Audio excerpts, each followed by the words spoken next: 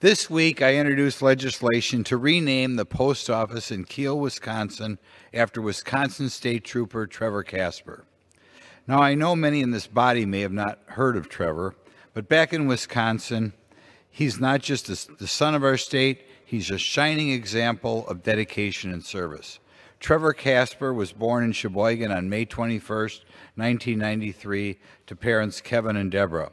He graduated from Kiel High School with the class of 2011, where he was active in wrestling, soccer, and coaching youth sports. After high school, Trevor pursued a degree in criminal justice at Lakeshore Technical College, graduating in May of 2014. During his time there, he was active in color guard and served as president of the LTC student government. It was clear that Trevor was not just interested in a career but passionate about making a difference in his entire community. Trevor's dream was to continue his education at the State Patrol Academy, which he did, successfully graduating on December 18, 2014.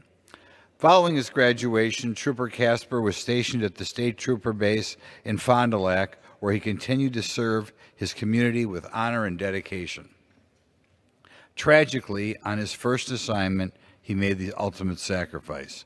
On March 24, 2015, he was shot in Fond du Lac while apprehending a bank robbery and murder suspect.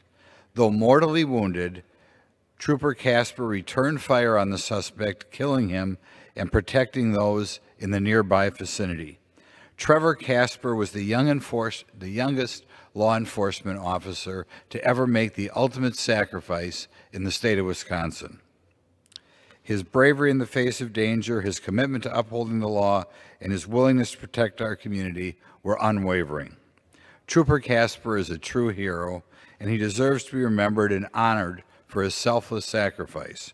Renaming the Kiel Post Office in his honor is a small but meaningful gesture and will ensure that future generations see the name Trevor Casper and will hear about his great sacrifice and what a great human being he was.